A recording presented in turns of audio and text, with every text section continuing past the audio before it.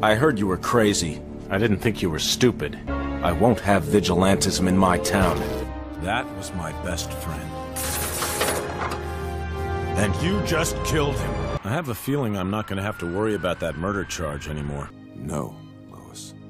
It's me. Superman. A clean bill of health. Though I came close. Too close to losing her.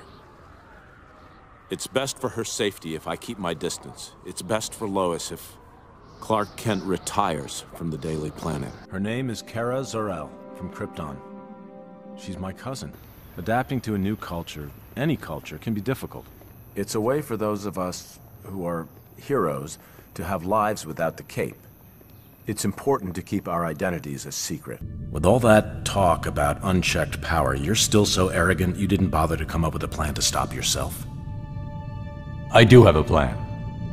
It's called the Justice League. Just wanted to be sure.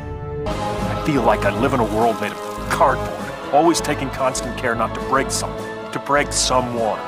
Never allowing myself to lose control, even for a moment, or someone could die. But you can take it, can't you, big man?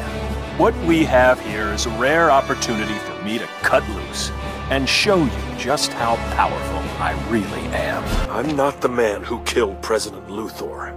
Right now, I wish to heaven that I were, but I'm not. These inmates are irredeemable. They're thieves, rapists, murderers.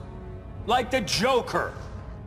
That's the problem with fighting for truth and justice. The battle never ends. I made the mistake of treating you people like people.